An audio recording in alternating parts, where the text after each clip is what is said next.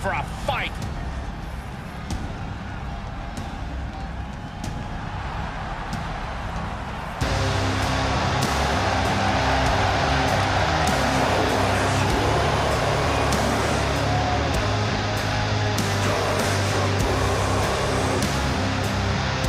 And their opponents, accompanied by Julia Hart, at a combined weight of 452 pounds, Black and Murphy.